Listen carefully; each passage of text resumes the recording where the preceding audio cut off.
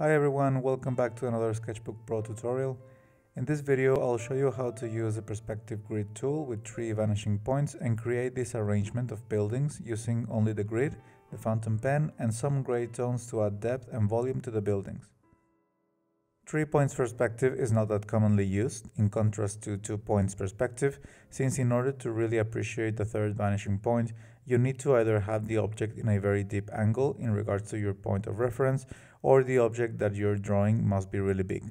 Ideally, this perspective is used for architectural sketching since buildings, houses, and open spaces are excellent examples for this drawing technique. You can see this in these pictures how the buildings are completely deformed and almost appear as if they were going to an infinite point. And the taller the structure, the more intense this vanishing point will appear. So to begin with, the three-point perspective grid is actually trickier as the previous ones since you need to be careful where to place the third vanishing point. Normally, the first two can be placed near your paper, either on the sides or edges of your canvas, or slightly outside and they won't cause any trouble to your sketch. However, the third vanishing point should really be far away from the canvas. If you leave it near the canvas as the other two, it will dramatically deform the picture, making it look really weird. This also reduces the realism of your sketch, so just be careful and try to put this point as far away as possible. Now I'll start by making a quick sketch that will serve me as a guide for when I'm drawing the final sketch, and then use my fountain pen to add some line weight to all the buildings. I'll be using black for this drawing and that will make the picture look cartoonish, but in the end we'll change the color to make the buildings look more realistic.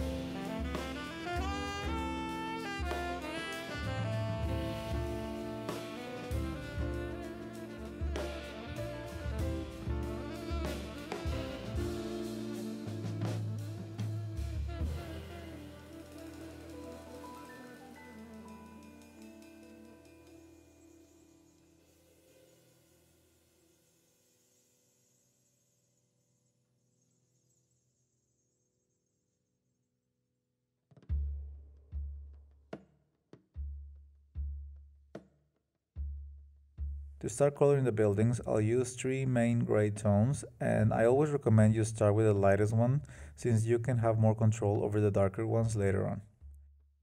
The lightest tone in this case will be on the roofs and it's the lightest one because it's where the sunlight will hit the surfaces directly.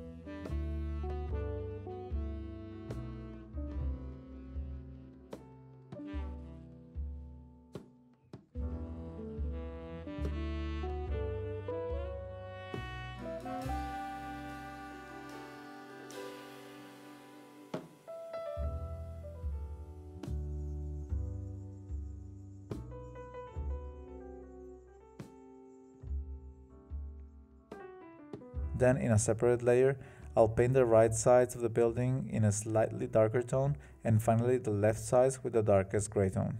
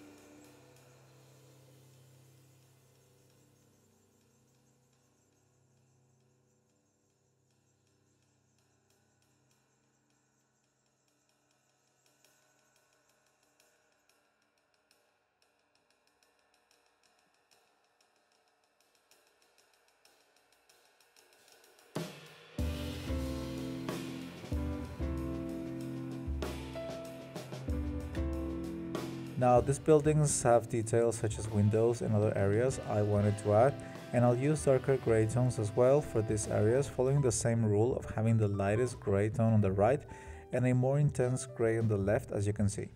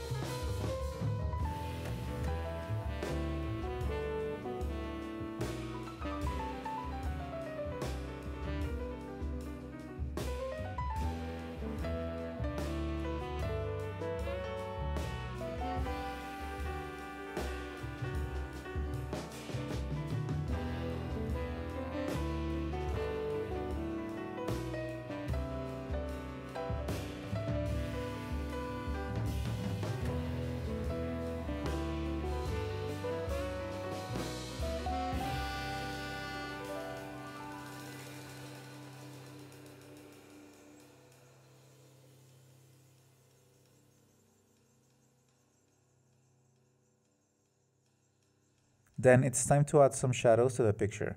And what I'll do is duplicate each color layer, lock it, and then use my airbrush to start adding those shadows, especially in spaces that are near other structures.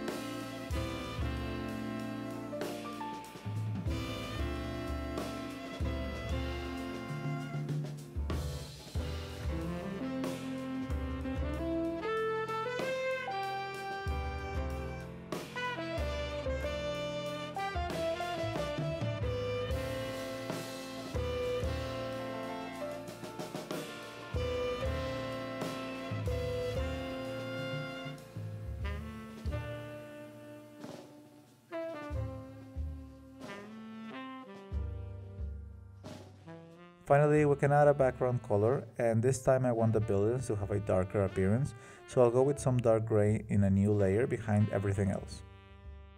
The last step is to change the color of the line weight by locking the layer and using your fountain pen with your desired color. And we're done!